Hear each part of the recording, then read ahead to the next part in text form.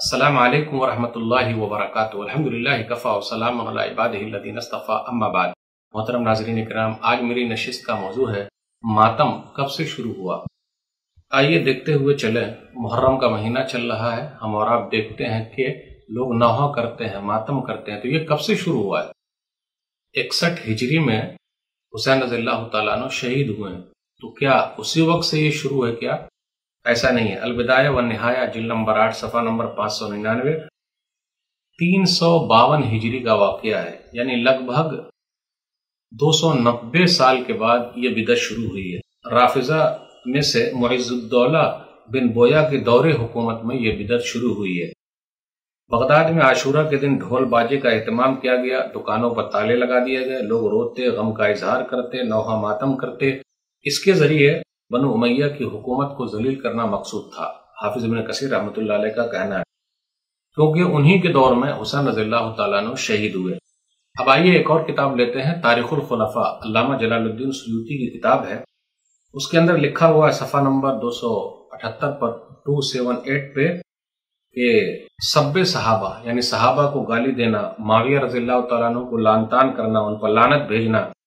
تازیہ بنانا، نوحہ ماتم کرنا، مرثیہ خانی کرنا، یہ سب کا رواج معیز الدولہ شیعی بادشاہ کے دور میں شروع ہوا بغداد کے اندر، اور یہی ان خرافات کا مجد ہے، اسی نے یہ سب چیز ایجاد کی ہے۔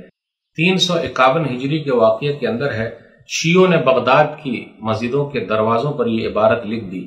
لانت و معاویہ معاویہ پر لانت و لانت و من غصب فاطمہ حق کہا من فدق، اس کے اوپر لانت ہے۔ جس نے فدق میں فاطمہ رضی اللہ تعالیٰ کا حق غصب کر لیا۔ ومن من حسن فنا ماجد ہی اور حسن کو ان کے نانا کے پاس دفن کرنے سے جس نے منع کیا، اس کے اوپر لانت ہے۔ وہ لانت و من نفع ابازر اور جس نے ابو ذر کو شہر بدر کیا، اس کے اوپر لانت ہے۔ رات میں اہل سنت والجماعت نے اس عبارت کو مٹا دیا، لیکن معز الدولہ نے ترغیب دیا دوبارہ یہی عبارت لکھی گئی۔ مگر وزیر محلوی کے مشورے کے بعد یہ لکھا گیا، لعن اللہ الظالمین لآل رسول اللہ۔ رسول اللہ صلی اللہ علیہ وسلم کے آل پر ظلم کرنے والوں پر اللہ کی لانت ہو۔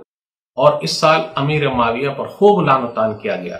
آگے علامہ جلال الدین سیوتی رحمۃ اللہ علیہ لکھتے ہیں، تین سو باون ہجری میں معیز الدولہ نے لوگوں پر لازم کیا، واجب کیا کہ عاشورہ کے دن تمام دکانیں اور بازاریں بند رہیں، لوگ خرید و فروخت مطلق نہ کریں۔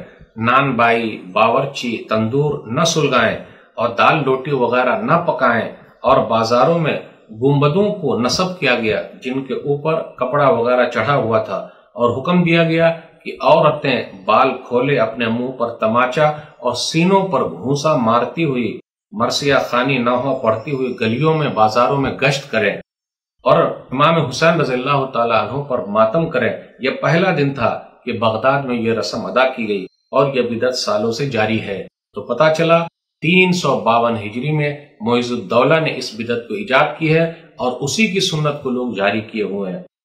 یاد رکھیے گا، نوحہ اور ماتم کرنا صحیح نہیں ہے۔ ایک حدیث کے اندر صحیح بخاری کتاب الطلاق، حدیث نمبر 5335 ترپن پینتیس۔